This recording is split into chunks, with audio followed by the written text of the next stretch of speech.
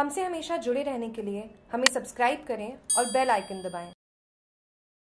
बाड़मेर शहर में लॉकडाउन के नाम पर रीत का रायता होता ही नज़र आ रहा है पुलिस कर्मी किसी को टोकने की बजाय सिर्फ़ और सिर्फ़ एक जगह को पकड़कर बैठे रहते हैं, जिसकी वजह से सड़कों पर आम जनता की भीड़ भाड़ नज़र आती है। बाड़मेर जिला प्रशासन इसे गंभीरता से नहीं ले रहा है। इस वजह से बड़ी दिक्कत भविष्य में सामने आ सकती है।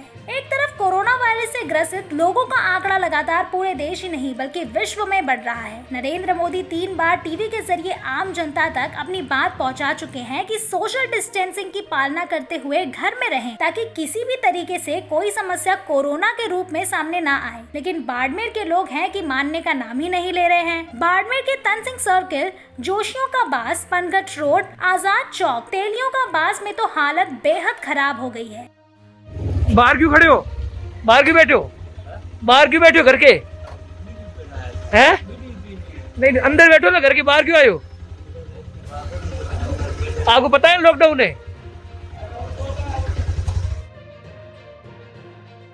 ऐसे में देर रात बाड़मेर पुलिस ने आज़ाद चौक समेत शहर की गलियों का दौरा किया और बाड़मेर की इन गलियों में घूम रहे आवारा लड़कों की पहले धुलाई की, फिर चौक में ही सबके सामने मुर्गा बनाकर इसकी सजा दी। बाड़मेर से जागरूक टीवी की रिपोर्ट।